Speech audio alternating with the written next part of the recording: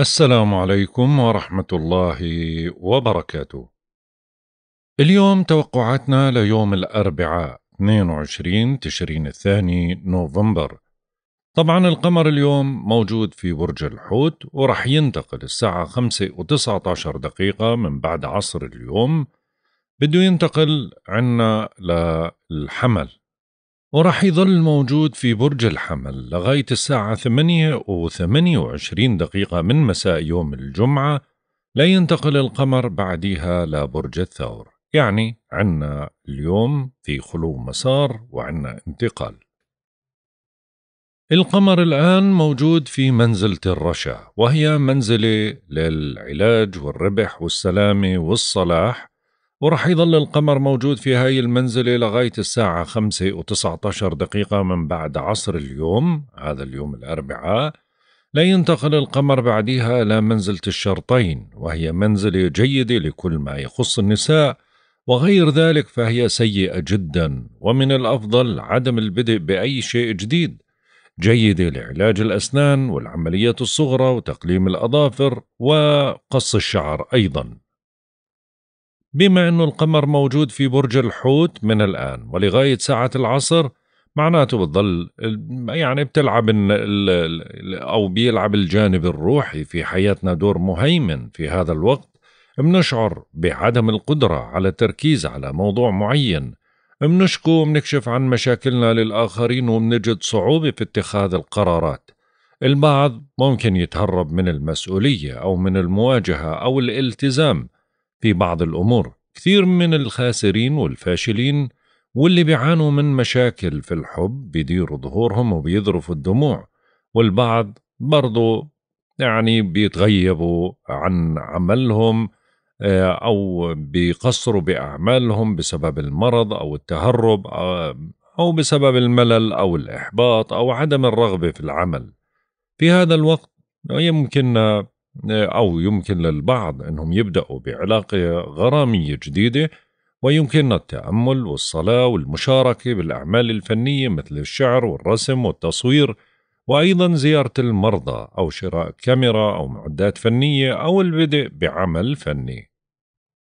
أما بالنسبة للزوايا الفلكية فطبعا اليوم في عنا مجموعة كبيرة من الزوايا الفلكية. فأول زاوية رح نتكلم عنها وهي زاوية تسديس إيجابية بين المريخ وبين بلوتو. هاي الزاوية بدأت تأثيراتها من يوم 15-11 ومستمرة التأثيرات ليوم 29-11 ذروتها يوم 22-11 اللي هو اليوم.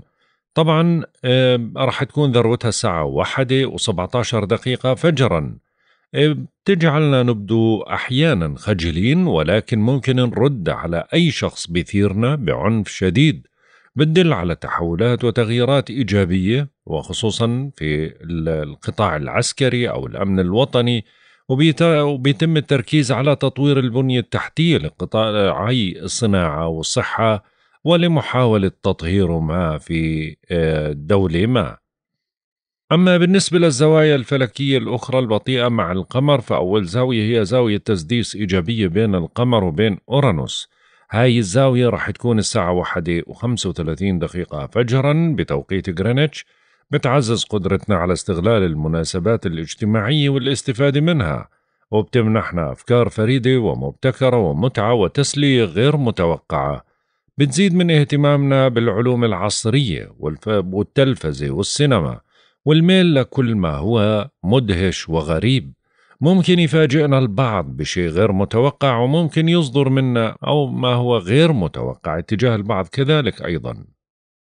أما بالنسبة للزاوية التي تليها وهي زاوية اقتران إيجابية بين القمر وبين نبتون هاي الزاوية راح تكون ذروتها الساعة 8 و 44 دقيقة صباحا بتعزز الخيال الخصب وبيقوى الحدس وعليه فإنه أكثر المستفيدين. هم اللي بيعملوا بمجالات ذات صلة بذلك كالفن والديكور والتجميل. وبرضه هذا وقت مناسب للراحة بتزيد من حساسيتنا رومانسيتنا وبتمنحنا كفاءات للأعمال اللي بتتعلق بالمسرح أو الروحانيات. بالنسبة للحدث اللي رح يصير اليوم اللي هو انتقال الشمس اللي رح تنتقل من برج العقرب لبرج القوس في تمام الساعة ثنتين ودقيقتين من عصر اليوم الأربعاء ورح يضل القمر الشمس رح تضل موجودة في برج القوس لغاية الساعة ثلاثة وسبعة وعشرين دقيقة من صباح يوم الجمعة 22 12 طبعا هيك بنقول لمواليد برج القوس كل عام وأنتم بخير. وطبعا الحلقة صارت موجودة على القناة يعني بنصح الجميع لأنها هي تعتبر توقعات شهر أو بتعرف خلال الشهر هذا إيش التأثيرات اللي رح تسيطر عليك؟ طبعا وجود الشمس في برج القوس يعني بعطي طاقة نفسية عالية جدا وحب للحياة الرغبة في السفر والرحلات والتنقلات والدراسة الجامعية أو التعمق ببعض المسائل أو التواصل مع أشخاص أجانب أو خارج البلاد. أما بالنسبة للزاوية التي تليها وهي زاوية تسديس إيجابية رح تكون بين القمر وبين بلوتو. هاي الزاوية رح تكون الساعة 2 و28 دقيقة عصرا. بتعزز قدرتنا على السيطرة على مشاعرنا وأفكارنا وبنتمكن من الغوص عميقا في نفوسنا وإحداث التغييرات المطلوبة. تمنحنا حكم صائب ومواهب روحانية وبتدفعنا للإبداع. أما بالنسبة للزاوية الأخيرة ما قبل خلو المسار وهي زاوية تثليث إيجابية بين القمر وبين المريخ. هاي الزاوية رح تكون الساعة ثلاثة وتسع دقائق عصرا بتلوح الفرص الفرصة للتحصيل على مكسب مالي وبنندفع للاهتمام بصحتنا أكثر. بتزيد من شجاعتنا وحماسنا وهذا الوقت المناسب للدفاع عن أفكارنا وحقوقنا والقيام بخطوات مهمة. بعد هاي الزاوية مباشرة بيبدأ عنا خلو المسار. يعني خلو المسار السلبي رح يبدأ من الساعة ثلاثة وتسع دقائق عصر اليوم هذا الأربعاء بتوقيت غرينتش ورح يستمر لغاية الساعة خمسة وتسعة عشر دقيقة بعد العصر بتوقيت غرينتش. لينتقل القمر ويصير موجود عنا في برج الحمل. يعني هاي الفترة اللي هي ما بين الساعة ثلاثة وتسع دقائق وخمسة وتسعة عشر دقيقة هاي فترة لا تصلح للبدء بأي عمل جديد أو مهم مثل توقيع عقد أو خطوبة أو زواج أو شراء شيء ثمين بل إكمال العمل اللي بدأنا فيه قبل خلو المسار. الساعة خمسة وتسعة عشر دقيقة بعد العصر خلص القمر بنتقل وبيستقر عنا في برج الحمل. عشان هيك من ساعات ما بعد العصر بيصير عنا طاقة كبيرة للعمل بنكون أكثر تصميما أكثر استقلالية منبادر بمشروع جديد. ولكن من المحتمل أنه نتسرع في تصرفاتنا أو نتهور أيضا. يجب أن نحذر أكثر على الطرقات من السرعة الفائقة. بنلاحظ أيضا في هذه الفترة أن أقل صبر في التعامل مع الغير وهذا الشيء ممكن يوقعنا في متاعب ومشادات غير مرغوب فيها. بنفقد دبلوماسيتنا وبنكون أكثر عدوانية. في فترة وجود القمر في برج الحمل يستحسن إجراء فحص للعيون إذا استدعى الأمر لذلك وأيضا ممكن بإمكاننا تعديل قصة الشعر أو إقامة حفل ما. بالنسبة للزاوية التي تلي الانتقال وهي أي أول زاوية بعد وصول القمر لبرج الحمل هي زاوية تثليث إيجابية بين القمر وبين الشمس. هاي الزاوية رح تكون الساعة خمسة وأربعة وثلاثين دقيقة بعد العصر فمنولي مزيد من الاهتمام لصحتنا. نتلقى المساندة والدعم من الأصدقاء نتجه لتغليب العقل نصبح أكثر قدرة على السيطرة على مشاعرنا. بتساعدنا على التوازن والثقة بالنفس ونجاح العلاقات العاطفية. بالنسبة للأعضاء اللي في جسمنا الأكثر حساسية خلال هذا اليوم، طبعا عنا من الآن ولغاية ساعات المغرب تقريبا أو من ساعات ما بعد العصر القدمان أصابع القدم الغدة النخامية الغدة الصنوبرية الإندورفين وهو الهرمون المسكن للآلام والميلاتونين اللي هو الهرمون المساعد على النوم هدول اللي بيكونوا أكثر حساسية. أما من ساعات ما بعد العصر ولغاية منتصف الليل بصير عنا الرأس والأسنان واللسان والعضلات المخططة القضيب والمرارة والشرايين والدم. هاي الأعضاء طبعا هي الأكثر حساسية ما بننصح بإجراء عمليات كبرى لهاي الأعضاء ولكن مراجعات أو علاجات بسيطة أو أخذ علاج معين وإذا شعرنا بشيء غير اعتيادي نراجع الطبيب ما في أي مشكلة. باقي أعضاء الجسم طبعا ما في أي مشكلة للعمليات الجراحية ولكن مش بفترة خلو المسار. هذا اليوم مناسب لعمليات التجميل مثل الحقن والجراحة ولكن مش بفترة خلو المسار. لا يصلح لإزالة الشعر الزائد يصلح لقص الشعر التجميلي والصبغ ويصلح أيضا للقص العلاجي.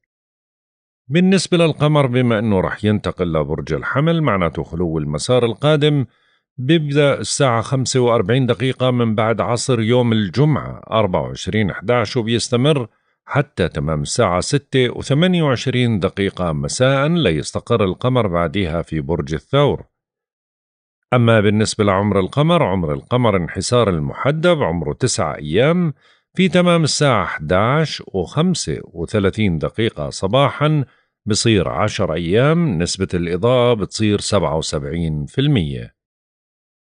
أما بالنسبة لمزاج الكواكب وطباع الكواكب لهذا اليوم الشمس في العقرب وبدها تنتقل للقوس زي ما ذكرنا وراح تضل موجودة بالقوس لغاية يوم 22 12 منتحسة بنسبة 25% القمر في الحوت وبده ينتقل للحمل وراح يستقر في الحمل لغاية يوم 24 11 طبعا منتحس الآن بنسبة 10% في ساعات الصباح بصير سعيد بنسبة 15% عطارد في القوس حتى يوم 1 12 سعيد بنسبة 10% الزهرة في الميزان حتى يوم 4 12 سعيد بنسبة 15% المريخ في العقرب حتى يوم 24 11 منتحس بنسبة 10% المشتري في الثور بيتراجع حتى يوم 31 12 منتحس بنسبة 10% زحل في الحوت حتى يوم 29 6 سعيد بنسبة 15%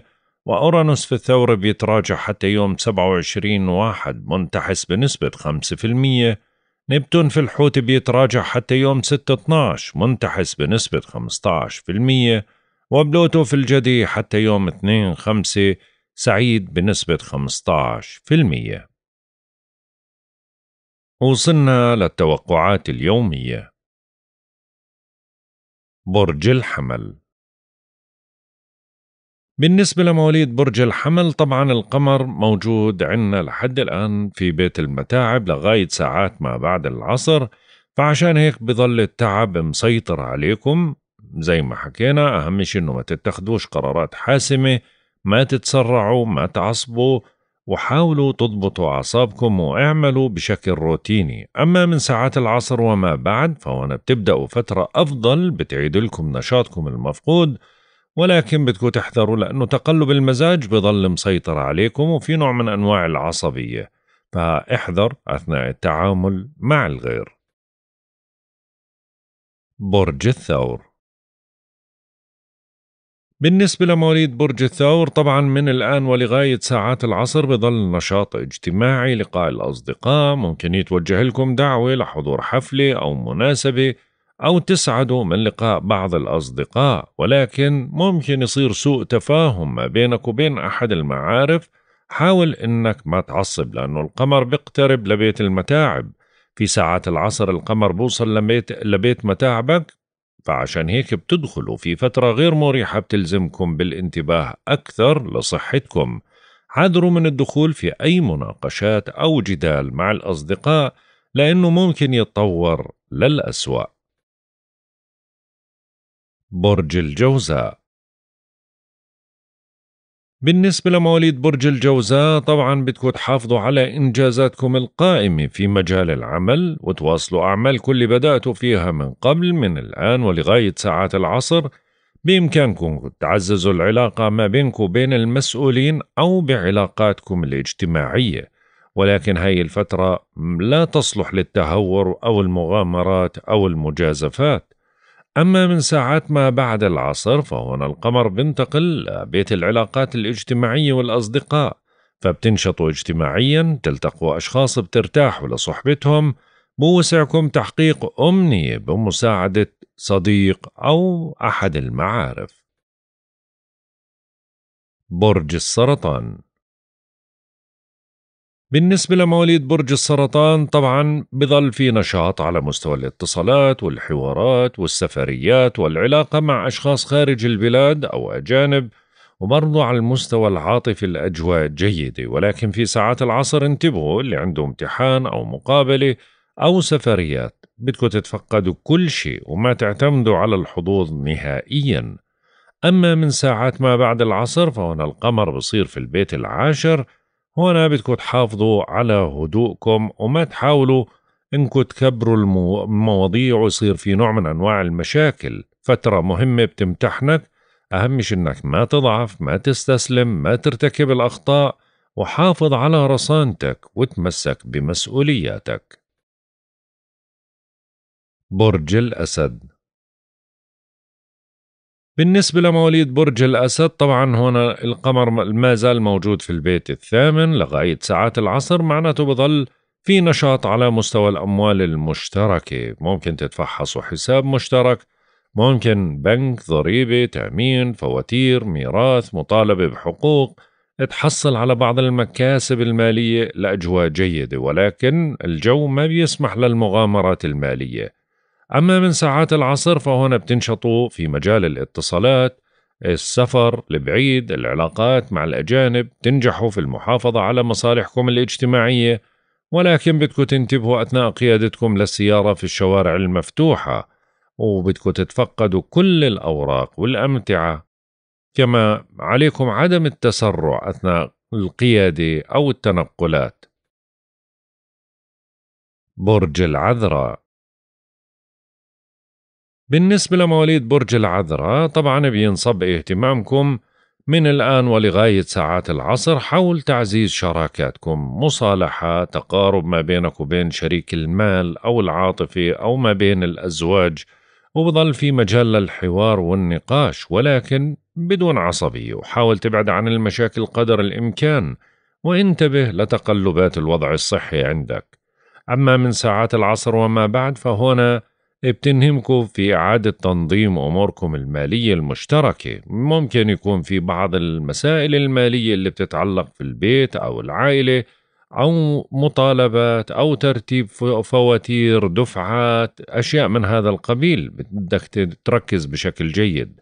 احذر من النزاعات مع الشريك في العاطفة أو المنزل أو العمل عشان ما تكبر المشاكل. برج الميزان. بالنسبة لمواليد برج الميزان طبعا التركيز رح يضل على العمل على الصحة لغاية ساعات العصر. فعشان هيك حاولوا انكم تنجزوا أعمالكم اللي بدأتوا فيها من قبل. ما تبادروا العمل الجديد خلوا علاقاتكم جيدة مع زملائكم في العمل. ركز بأعمالك عشان ما تكون ناقصة أو يكون فيها بعض الأخطاء. وبرضو حاول أنك تنجز الأعمال الضرورية والمهمة قبل ما تنتقل لعمل آخر وأهم إشي صحتك. أما من ساعات العصر وما بعد فهنا بترغبوا في تعزيز شراكاتكم القمر راح يصير مقابلكم تماما فبدكم تنتبهوا بشكل كبير لطاقتكم. ممكن تعزز شراكتك مع زوجتك مع شريكك بالعمل ولكن طاقة ضعيفة جدا وهذا الشيء ممكن يعرضك لبعض الجروح أو الالتهابات أو الأمور اللي بتكون عرضية ولكن حافظ على طاقتك. برج العقرب. بالنسبة لمواليد برج العقرب طبعا بتظل العاطفة قوية لديكم وبتميلوا للتقرب من أحبائكم للتجاوب معهم من الآن ولغاية ساعات العصر. بهاي الساعات بتجمعكم بأحد الأبناء أو ترفيه ممارسة هواية تجميل آه، الأجواء جيدة بتدعمك كثير من الحظوظ. ولكن من ساعات العصر القمر ببلش يقترب لبيت العمل لبيت الصحة أيضا. فبدكم تنتبهوا لصحتكم وتنتبهوا لأعمالكم. بيغلب عليكم شوي العصبية أو العنف وخاصة مع الحبيب أو مع الأولاد. فبدك تحاذر ودير بالك برضو من أي خلاف ما بينك وبين أحد زملائك بالعمل. برج القوس. بالنسبة لمواليد برج القوس طبعا تجنبوا إدخال أي تغيير جذري على مسكنكم من الآن ولغاية ساعات العصر. ممكن تهتم بصحة أحد أفراد العائلة أو ديكور أعطال مشتريات مسألة عائلية طارئة هيك بتحب إنك أنت تساعد فيها أو تحل المشكلة فيها ولكن بدون ما تعصب وبدون ما تفقد السيطرة على أعصابك. أما من ساعات ما بعد العصر الأجواء بتصير ممتازة جدا. هنا بتزداد رغبتكم في التقرب والتفاهم مع أحبائكم ولكن حاول أنك ما تفتعل أي خلاف لا مع لا بالمنزل ولا مع أحد أفراد العائلة ولا حتى مع الحبيب لأنه مزاجك شوي بكون في بعض الحدية. برج الجدي. بالنسبة لمواليد برج الجدي طبعا الأجواء جيدة من الآن ولغاية ساعات العصر في التنقلات والاتصالات الحوارات النقاشات وبظل في طاقة عالية جدا للتواصل وللمكاسب ما راح تهدأ راح يكون في نشاط عالي جدا. ولكن حاول قدر الإمكان في ساعات ما بعد الظهر لغاية ساعات العصر تضبط أعصابك بحواراتك لأنه ممكن تفقد السيطرة على حالك أو تتكلم كلام ما يكون مفهوم فينفهم بشكل خطأ ويسبب لك بعض المشاكل. أما من ساعات ما بعد العصر فهنا بتفضلوا الأجواء البيتية والعائلية. ولكن مزاجكم شوي عصبي بدكم تنتبهوا من خلاف أو سوء تفاهم وكما أنه عليكم الحذر أثناء التنقلات بالسيارة ما بين المدن والكلام زي ما حكينا يكون مفهوم. برج الدلو بالنسبة لمواليد برج الدلو طبعا من الآن ولغاية ساعات العصر بدكم تتجنبوا شراء أي حاجية ثمينة. خففوا من نفقاتكم انتبهوا على أموالكم. صحيح بضل في فرص من الآن للعصر مكاسب مالية من عمل إضافي مستردات هبات دعم ولكن المصاريف موجودة وبكثرة فضبط المصاريف مطلوب. أما من ساعات ما بعد العصر هون الأجواء بتصير رائعة جدا فبتكثر عندك الاتصالات والتنقلات من المحتمل أنه يعاني البعض منكم بعض المشاكل النزاع مع رفيقه أو رئيسه في العمل أو الزوج لا أسباب بتعود للأمور المالية. عليك تتجنب التبذير. عندك قدرة على الإقناع واللي بيشتغلوا في مجال التجارة بيستفيدوا من ساعات ما بعد العصر. برج الحوت. بالنسبة لمواليد برج الحوت طبعا أنتم النشاط عالي جدا عندكم برضو اليوم. قدرة على الإقناع والحوار ما العاطفة عندكم جياشة جدا. عندكم بعض الأعمال اللي بتحبوا تنجزوها أو عندكم مخططات وبرضو اليوم ممكن يوصلك خبر كنت بتنتظره. الأجواء جيدة أما من ساعات ما بعد العصر فهنا بتنهمكم في ضبط ميزانيتكم. ولكن بيكون مزاجكم سيء شوي بتكونوا قليلي الصبر وهذا الشيء ممكن يسبب لكم بعض النزاعات مع محيطكم. هيك بنكون انتهينا من توقعاتنا لهذا اليوم. والله أعلم. يا رضا الله ورضا الوالدين. سبحانك اللهم وبحمدك. أشهد أن لا إله إلا أنت. أستغفرك وأتوب إليك. أترككم في رعاية الله وحفظه. إلى اللقاء.